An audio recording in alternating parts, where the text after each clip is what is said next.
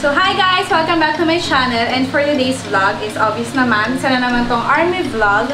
As you can see, suot ko ang aking RJ na shirt. Wow! Hindi kita eh. And yung aking RJ na headband. Wow! Ang cute, di ba?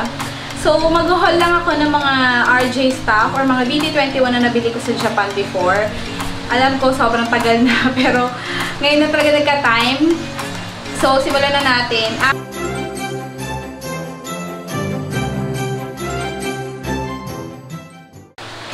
Ito, bigay ito ng Yani. After siya, kung saan niya nabili. Pero sobrang thankful ako. And finally, magagamit ko na siya. Lahat kasi ng mga to, hindi ko pa talaga nagagamit. So, lahat sila naka plastic pa, whatsoever, ganyan. So, ngayon, finally, makakago na siya lagi. Kasi super cute niya, di ba? Yun nga lang, puti. So, ingat-ingat, tumihing. Kaya, cute, di ba? So, lagyan natin siya dyan. Okay, so start na tayo.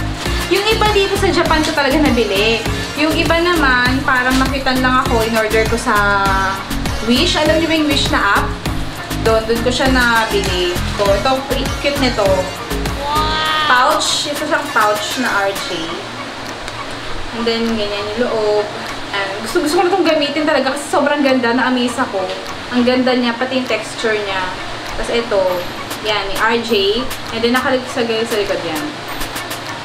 Kind alpaca, RJ. Kind and polite and the cutest wild mumbling. Wears a parka. Ito. Ito. Because it gets cold easily. So, next is itong medyas. Actually, nagamit ko na itong medyas kasi ginamit ko pang start ng tournament namin sa badminton. Feeling ko kasi lucky charm ko siya. So, ito. Ang cute, diba? And then, nakakatawa, side kwento lang. Nung last time sa uh, tournament, yung Interbank tournament, badminton tournament, paglabas ko ng CR, nakakagod kasi may nakapagtanong kong gano'n sa baba.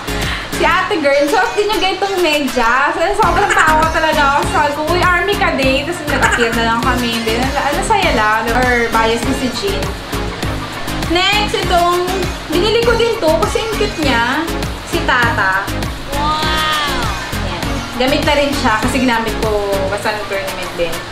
Yan, sorry. Nabuksan ko na. Di ko na napigilan eh. Diba? Ang cute niya. Sobrang comfy niya. Tapos, itong... Guys, sorry. Hindi ko na talaga alam yung price nito kasi ang tagal lang nga namin nung nabili to. So, sorry na. Ito, ID holder. Kita talaga kay Koye, oh. Tapos may ang kasama ito.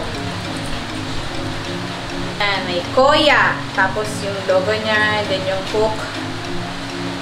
hook. Pwede to sa ano, pero cute, diba?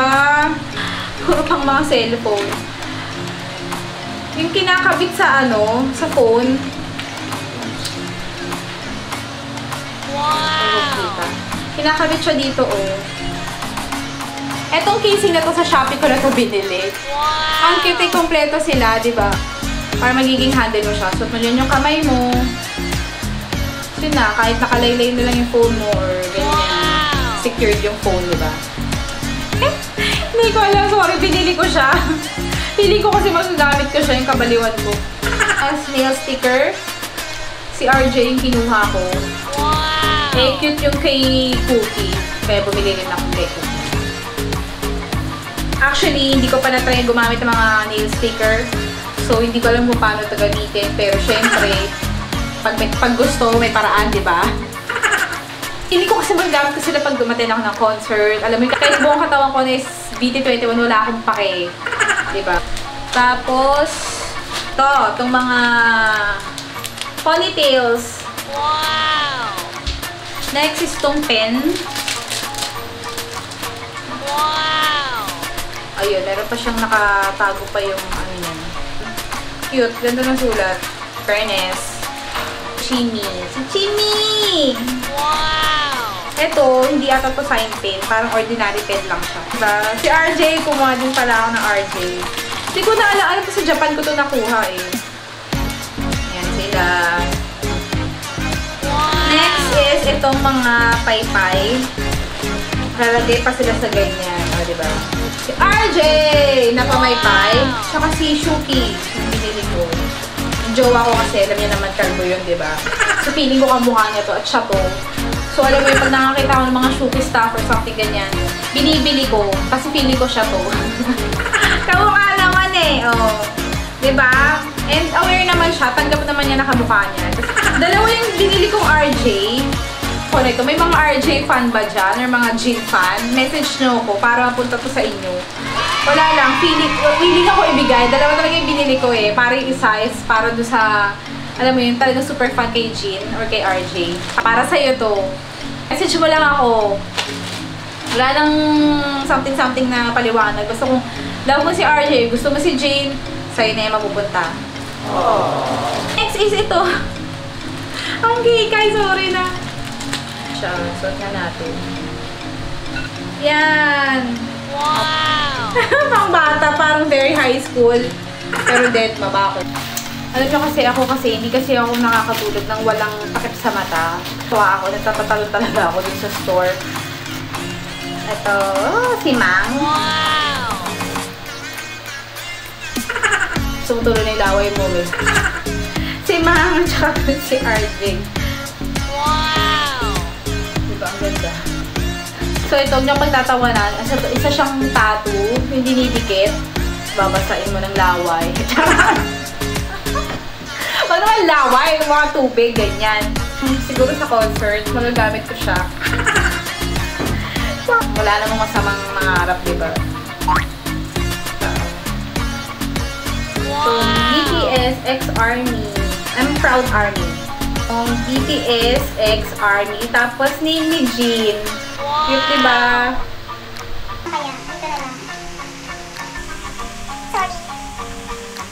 Yan, ganyan. Wow! Yan, and then next is itong lace. Ito sila dyan. Wow! And then, may mga BTS nakalagay. Transfer natin to dito. Cute, tignan nyo, oh. Wow! Diba? ID ka, ganun. Darn. Na, sobrang ganda nitong facing na to. Ang ganda, diba? Pa siya, ha? Kailangan nga, tanggalin na natin. Sobrang, may pinkish-pinkish siya, oh. Itong, nakita niyo to sa vlog ko before, diba? Ewan ko, napanood niyo yun. Tawag dito, ring, ano? Ring 4 ba? 500 yen, te. Mahala. Kung magkano yun dito, 250. Mostly kasi, di ba mukha lang nila? Ito kasi whole body siya. Tapos meron pa yung plastic. So, pag tinanggal ko yan, yun, yung plastic, magiging makintab pa siya. Skip lang. Hindi, nakitan kasi ako dito. Yan, ganyan. Tapos, nilaw siya. Wow! So, natanggal yung ring something of Kennereth niya. Lagay mo ulit siya dito sa gilid ng phone. Ring na ganyan. Holder mo siyang ganyan. Sa phone. Tiki pa. Sumigilaw siya. Ah, ang cute, di ba? Pag nasa concert ka, yeah! Sumigilaw siya gano'n. Tapos, itong panghilamos siya yung headband. Pag maghilamos, nakaganyan siya. Wow! Ang cute. So, syempre, hindi siya pang mata ha. Hindi siya pang ganun. Kasi sobrang sikip nun dito eh. Masasaktan yung mata nyo. So, pang headband talaga siya pag manghihilamos kang ganyan. Ah, nakataas yung... Makeup ka, mag-makeup ka, ganyan. Taas mo siya. Itong BTX. BTX. Sino yun? BTX. BTS na towel. Wow! Suga. Yan, kompleto sila. Yung feeling mo naman pinupunas sa kanan nila. Ganun yung feeling, kaya ako siya kinuha. Kasi feeling ko, pag pinunas ko siyang ganyan, feeling ko, nakakawala ng pagod.